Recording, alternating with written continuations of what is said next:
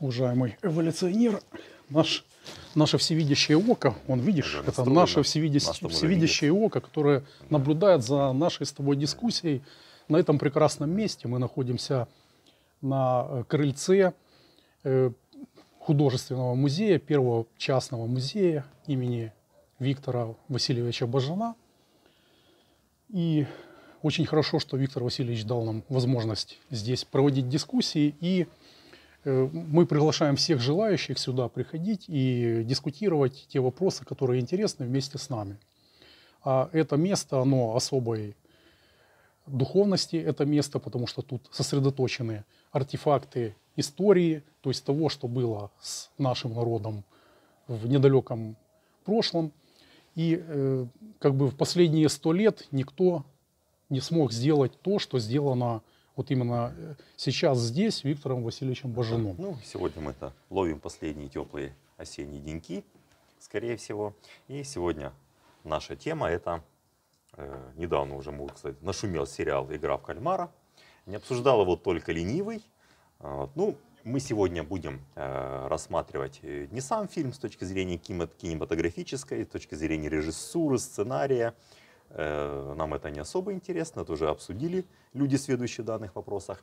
Мы хотим обсудить э, на основе вот, да- сюжета данного фильма вопрос морали. Вот как бы в отражении данного сюжета. Вот, ну, э, и начну со своей стороны. Как бы, что могу сказать? Э, ну, как бы предыстория. Это как бы первый твой тезис уже начинается. Да, это уже будет это, как это бы синий, мой, да, синий, это да? будет уже мой как бы Да. синий А, тезис. да, Да, первый. это будет как бы такая предыстория. Э, То есть все, кто видели данный сериал, они поняли, что вот в Южной Корее как бы не все так и хорошо, как может показаться. То есть да, Э, чем отличается эта страна? Она одна из, э, так сказать, нескольких азиатских тигров, то есть страна экономически весьма развитая. Э, Это родина Samsung, это родина Kia, это один из лидеров мировых по производству процессоров компьютерных. Ну, что-то там не так. Казалось бы, люди должны быть счастливы. Южная Корея, она по всему миру лидирует по уровню э, закредитованности населения. То есть все кредиты, если собрать, которые должны южные корейцы, так скажем, частные домохозяйства, он превышает ВВП этой страны. А ВВП там, судя по всему, не маленький. И вот режиссер данного фильма, он отобразил вот эту проблему, то, что несмотря вот такой бешеный рост экономический, людям-то жить все равно нехорошо. И что мы видим как бы вот в этом фильме? Да, вот люди стоят на грани безысходности. Это уже, наверное, будет мой второй аргумент. Это, А, это уже второй, Да, да. это второй. Как бы грань безысходности. И что люди делают? Они, конечно, пытаются выживать и находят все различные вот варианты, э, как это сделать. И что мы видим? Э, Люди идут на крайние меры, они попадают, скажем, в такую э, преступную ситуацию, в которой они, по большому счету, вынуждены нарушать закон. Вот Такие первые мысли мне приходили, что э, ни один из этих людей, он как бы не подумал, что, э, вот, например, играть в эту игру это нарушение закона, это плохо. Вот. И получается, по логике, все равно это лучше, чем не заплатить кредит. Вот в чем же суть, интересно получается. То есть люди не могут отказаться оплатить кредит, но в такие игры они играть согласны. И что мы видим? Эта группа людей, то есть попадает вот на этот остров, и мы, как зрители, мы прежде всего начинаем смотреть на то, что там происходит. Понятно, как в данной ситуации э, проявляются не лучшие качества человека, Э, люди, по сути, друг друга убивают, играючись. Но мы, как зрители, по сути, это основная масса, мы, нам-то интересно, что будет за игры, и нам не меньше, чем участникам, э, персонажам данного фильма интересно, какой же конкурс будет следующий. И тут ловлю себя на понимании, что а чем мы отличаемся от э, там, граждан Древнего Рима, которые приходили хладнокровно в Колизей смотреть на то, как э, гибнут э, гладиаторы. То есть мы даже зрители уже участвуют в этом, участвуем в этом процессе. И по сути, вот, что- вот в фильме вот, интересно, сюжет не нов. Например, э, подобные фильмы это уже были на данную тематику. Это ну, вот, из, нашум- из самых нашумевших. Это у нас были это «Спящие», насколько я не ошибаюсь. И самые яркие это у нас, конечно, «Голодные игры». Вот. Но в «Голодных играх» там как бы был логический выплеск. То есть это вылилось в революцию. В данном фильме э, как бы этого не произошло. Но то, о чем уже начал говорить, это, я думаю, уже, скорее всего, можно привить к моему третьему красному аргументу, вот, который звучит так, что а в чем суть происходящего, в чем посыл. То есть мы видим состояние безысходности. Ни один из персонажей э, не озвучивает, а, что-то, а что же делать? А, а что делать-то? Может быть, э, суть в том, что вот банковская система, которая существует во всем мире, она может быть порочна, может там есть какие-то проблемы. Ну, я как, поскольку у меня есть экономическое образование, изучал эту проблему, могу сказать, что да, проблемы в этой системе есть. Но что касается темы нашей сегодняшней дискуссии, именно этот фильм «Мораль и этика», э, этот вопрос совершенно не поднимается. Да, мы видим такую, ну, может не очень оригинальную, но неплохую концовку, когда главный герой встречает умирающего вот этого миллионера или миллиардера, скорее всего, вот этого дедушку, он лежит в каком-то огромном офисе один и смотрит в окно. И там лежит э, такой нищий замерзающий, и он еще поспорил с главным героем о том, помогут ли люди или не помогут. Человеку помогли, который замерзал бездомному, то есть какой-то огонечек свет тоннеля дали типа все не так и плохо. Но все равно основного посыла нет. То есть почему все эти люди были вынуждены играть в эту игру? И стране, по сути, весьма благополучной. Не был вопрос самой причины. А какая процентная ставка данного кредита? А, кто ее соизмеряет, кто ее ограничивает? То есть ученые давно просчитали, что если процентная ставка выше 7% работает в государстве, то банковская система, она жирает систему производства. Потому что производство оно наиболее емкое. То есть я думаю, тут не хватило немножко вот такого посыла, э, что ставит человека в такое состояние. Э, потому что ну, банковская система это государство в государстве. И вот в этом фильме как бы вот пришли к этому, что у людей кредиты, у них большие проблемы, они вынуждены торговать своими органами, которые, кстати, разрешены. Разрешена трансплантация в Южной Корее. И вопрос не открыт. То есть, по моему мнению. А то поднимается вопрос морали еще другой, а мораль этих людей, которые по такие бешеные проценты дают кредиты людям. То есть, по сути, современная банковская система, она превращается в не что иное, как ростовщическую давку. И вот мы на примере Южной Кореи, и, к сожалению, это не просто сюжет из фильма, это реальный э, сюжет из жизни, что мы, что мы видим. То, как банковская система, которая мало кем контролируется, она просто она мало того, что уничтожает, уничтожает экономики слабых стран, таких, допустим, как Украина, она уничтожает людские жизни. И вот это вот мне не хватило. Ну, э, скажем так, первый твой тезис то, что там все, ну, это вроде бы благополучная капиталистическая страна. Дальше ты сказал, что оно, она-то благополучная, но чтобы быть благополучной, расплачивается тем, что закредитованность большая. То есть да? благополучно там живут да. далеко не все. Да, большая закредитованность. Дальше ты сказал, что по сути особого выхода-то и не, там и не предлагается как э, решить эту ситуацию. Как по мне, недостаток этого фильма, то, что там не показано, то не показано, вот именно благополучие не показано. Все показано в темных тонах. Но если это благополучная капиталистическая страна, значит, они просто вырвали из контекста, это же э, создатели этого фильма, вырвали только один нюанс из жизни Кореи. То есть только только черную ну, сторону. Да, не всем там плохо. Да, а они не показали светлую сторону. И в таком, э, в таком э, как бы, в такой подаче этот фильм не показывает нам настоящее положение дел, дел в Корее. Ну, Может... я перебью, исходя вот из данных, которыми я ознакомился, то есть в Корее действительно проблема большая. Там реальная безработица и прочее. То есть, ну, какой-то перманентный экономический кризис. Да. Угу. Возможно, вот автор данного фильма, он не показывал какую-то другую сторону. Ну, ее можно было показать, но это, скорее всего, это были, была бы жизнь людей более богатых, которым как Тут бы еще все такой хорошо. момент. Да. Скажем так, был, э, ну, все же в динамике развивается, и страна тоже. То есть бывает период роста, там, благополучия, период э, значит, ухудшения положения. Видимо, сейчас в Корее вот именно этот спад происходит. Но было время, когда было все хорошо, и это же там не показано. То есть в любом случае тут э, такой однобокий взгляд на Корею. Ну, это отражение не, ситуации не, не, в данный момент. В данный момент да. это как, как, э, как вот э, фотографический снимок. То, то, то есть раз, вот именно в этот момент. Ну, оно же все время, э, ситуация в динамике развивается. Оно что-то меняется. И там это не показано, не показана эта динамика. и показана только темная сторона, не показана светлая. Поэтому с этой точки зрения для меня фильм как бы несовершенен. Я его называю несовершенным. Ну и сюжет тоже особо... Как бы, Ну да, как говорил, нового ничего особо нет. Да. э, Эмоционально он, конечно, воздействует, э, этот фильм, на сознание, но как бы для размышления там не особо Ну много да, и так, места. чтобы как бы к сюжету особо не возвращаться, тоже вот эта вот тема, э, по мне, вот человека поставлена на безысходную ситуацию, проявление его как человека. Вот всем, кто интересуется, рекомендую э, итальянский автор Прима Леви.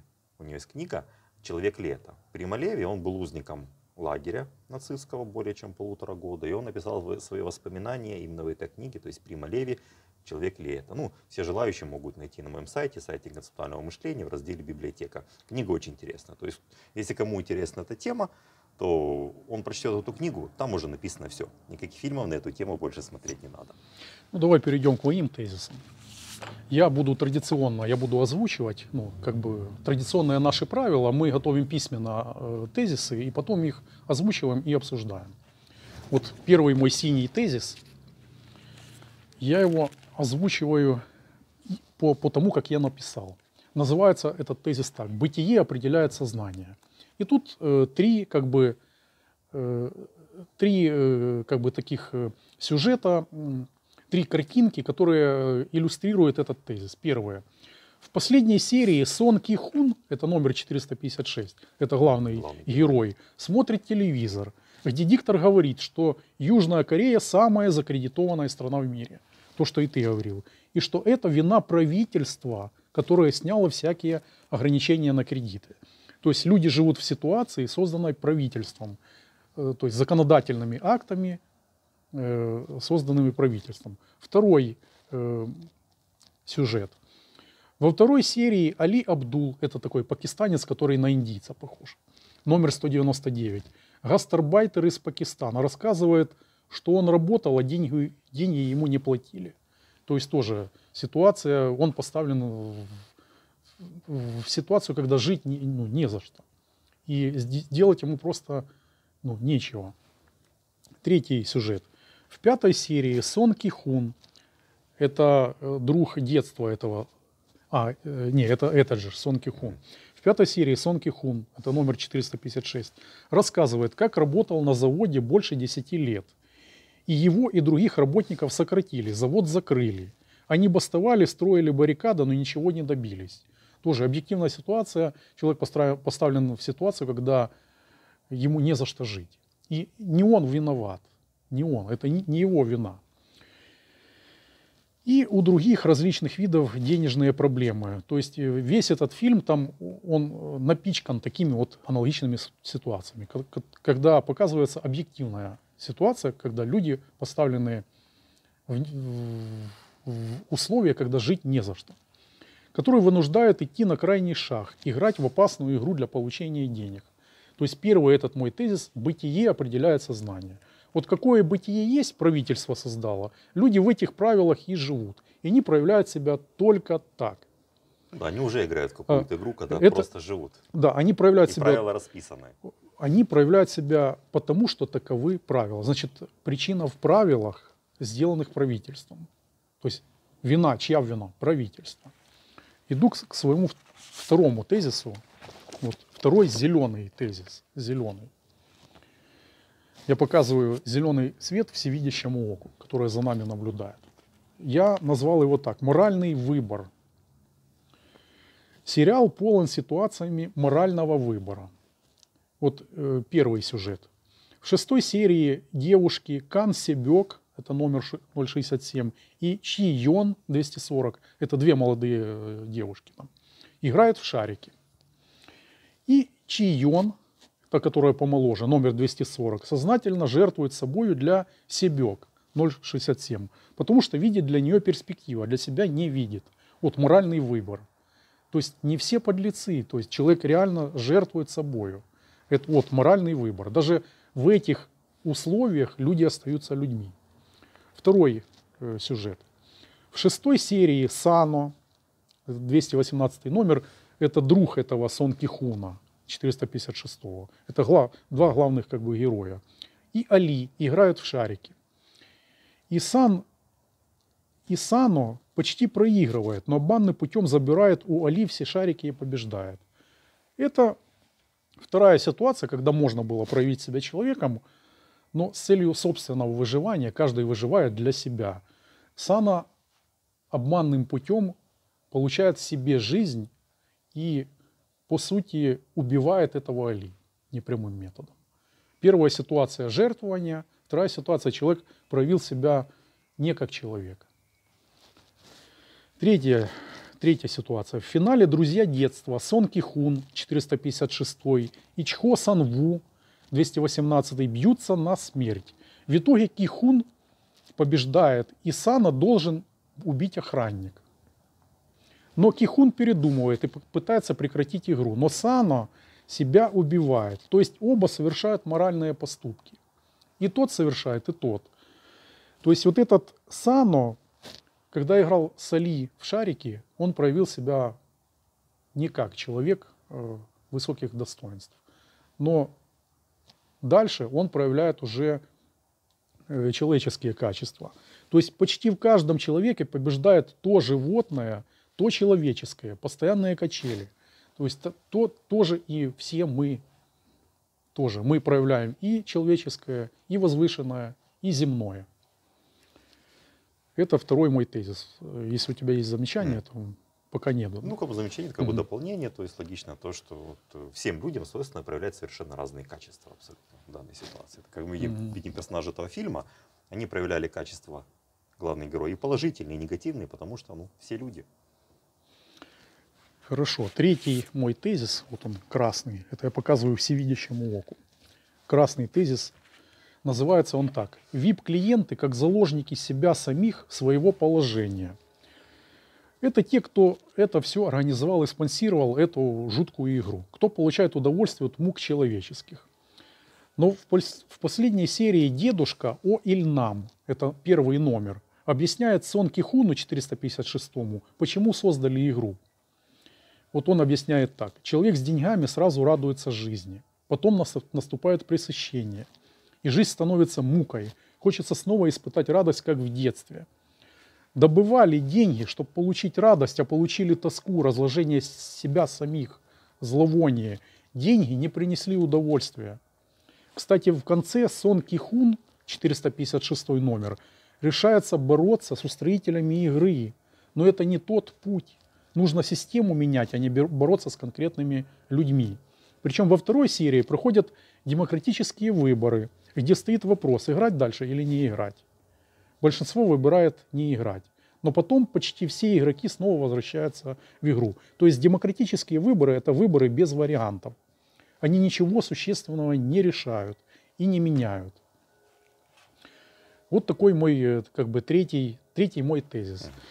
Ну, Созд, создали, создали VIP-клиенты, но в итоге и сами они страдают, и люди страдают, которые не являются ВИПами, и, и VIP-клиенты страдают. Ну, теперь понимаю, моя очередь представлять выводы. Наша да. желтая карточка. Угу.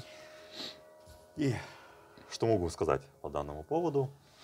А, вот э, в конце фильма э, один из главных персонажей, этот, этот престарелый, а, уже больной старик, он спросил у главного героя. О а, Ильнам. Да, о Ильнам. Он спросил у как, Сихуна. Э, Сан Кихун. Сан Кихуна, да. Сон Кихун. Чем, э, ты знаешь, чем отличается, как у него спросил, человек бедный от человека богатого? Говорит, нет, и тем и другим плохо жить, и тем и другим скучно. То mm-hmm. есть вот это как бы основная мысль, она, конечно, не нова, но, возможно, какое-то там молодое поколение, которое не видело таких аналогичных фильмов, к сожалению, не читает книг, для него это что-то даст. И вот тоже, вот, когда, когда готовился к дискуссии, возникло вот у меня вот, вот такое видение. Вот представьте, мы знаем, что есть Северная Корея и Южная Корея. Причина создания двух государств было противоборство э, коммунистической теории и практики и капиталистической теории и практики, то есть слеснулись две идеологии. Страна отделилась на две. Что мы знаем про Северную Корею? Ну, не буду распространяться, люди живут там плохо но у них есть ядерное оружие. Не, мы этого, мы же не знаем, как они да, там да. живут. Ну, не Информации, знаем. Тем информации не менее, нету. Да. То есть, объективно, кого не спросить, в Северной Корее коммунистической люди живут намного хуже, чем в Южной. Вот. Но там тоже есть какие-то свои светлые моменты. Как мы видим по данному вот фильму, и экономическая ситуация на данный момент в Южной Корее люди живут, а тоже не очень. И в самом фильме, вот устроители игры, они соблюдали правила демократии внутри всей этой системы. И вот первая мысль то, что а эта игра, она по сути сейчас и происходит во всем мире. У нас тоже есть правила демократии. И то, что происходило у них на этом острове, по сути, на данный момент оно происходит по всему земному шару. Потому что все вот эти вот явления, которые происходят в каких-то малых группах общества, это как капля росы, которая повторяет, отражает всю эту глобальную систему. То есть в той или иной степени мы все играем в эту игру. Это ты, мой ты, вывод. А, ты закончил, да? да? Ну пусть вот желтая, желтая карточка моего вывода. Я, по сути, уже сказал свой вывод. Я считаю этот фильм неполный. Он э, отражает не в полной мере существующую ситуацию. Он показывает только одну сторону, темную сторону той системы, которая сложилась именно в, в Южной Корее. Сериал корейский. Распространять на весь мир не совсем как бы правильно. Потому что во всех частях мира там как бы свои проблемы. Ну, вот у них, игры. да, у них такая ситуация, и это только, только темная сторона. У, у них еще есть светлая сторона. Потом, что мне как бы не понравилось, что в конце вот этот Сон Кихун, он решил бороться с устроителями игры, что как бы не совсем правильно, ну, потому это что... борьба с ветряными мельницами. Да, это, это борьба со следствием, но не с причиной. Да, причина-то в системе, а эти VIP-клиенты, они сами страдают от этой системы. Но они не могут ее да, изменить. Я даже вот как бы проведу такие запну аналогии. То есть, возможно, из этих VIP-клиентов которые смотрели за всеми этими кровавыми игрищами, были банкиры, которые закредитовали этих самых людей.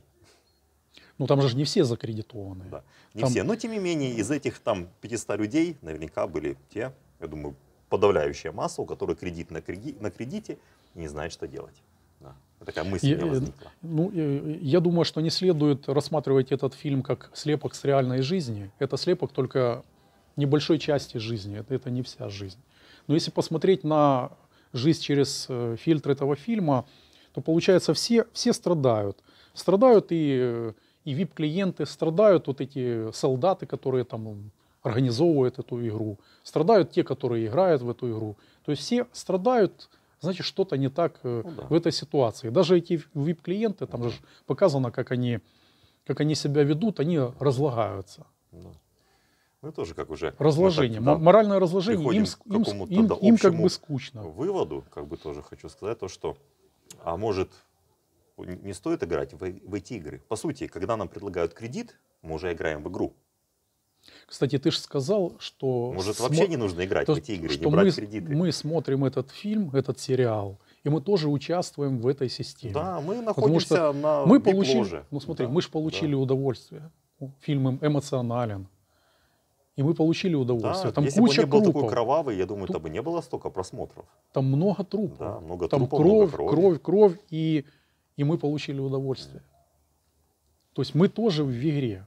Мы все. Мы да, в игре. то есть я тоже прошу году, что мы, мы все что-то играем. Мы, мы должны просто выбирать, но, во что нам играть, а во что не, нет. Там же не, не э, предложили путь выхода из этой ситуации. Ну, там наши путь выводы выхода. сходятся, выхода нет. И сам главный герой с тобой согласен, и, и мы, и он мы, идет по ложному пути. И, и мы даже не предлагаем этот вывод. Ну, этот, я свой вывод, вывод предлагаю, его четко выражаю. Не берите банковские кредиты.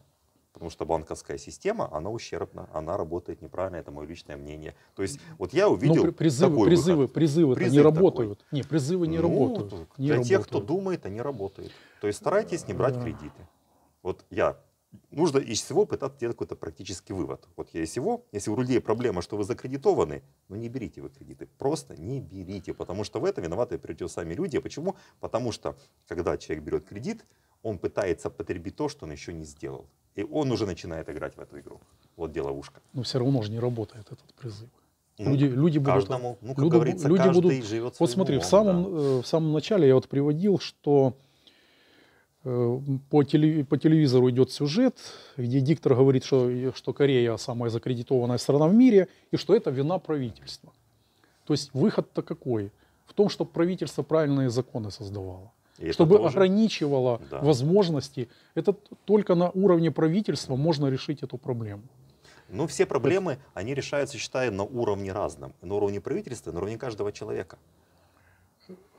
Конечно, на, никто на не уровне снимает ответственность правительства, но ответственность гражданина, я считаю, что снимать не надо. Человек должен думать и понимать, современный человек, он должен понимать эти вещи. Ну, скажем, э, это твой вариант ответа. Да, да, Мой вариант про- э, ответа тот, что это только на уровне правительства ну да, я считаю, можно что и на уровне решить- правительства, можно и решить, человека. можно решить эти вопросы. И надо решать. Ну, на этом, как бы, Да, думаю, на этом мы думаю, закончили. исчерпали тему. Если кому-то интересно э, принять участие в дискуссии в этом прекрасном месте, в первом художественном частном э, музее Виктора Васильевича Бажана, то мы предлагаем через всевидящее око, чтобы эти люди приходили сюда, в это прекрасное одухотворенное место, и будем тут Да. размышлять о вопросах, которые нам интересны. Спасибо Пожмем. Руки, э, как бы, Да. скажем э, в конце, дискутируем, Да, дискутируем. воистину дискутируем.